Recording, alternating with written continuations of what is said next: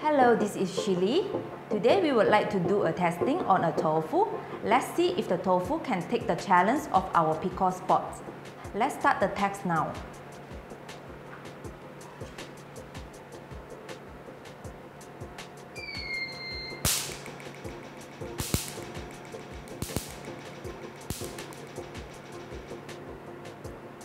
As you can see, the dots on the tofu have disappeared, but the tofu is still in a good condition without damaging its surface. As a result, PicoSpot will not damage your skin, but it will only destroy the targeted skin cell that cause pigmentations.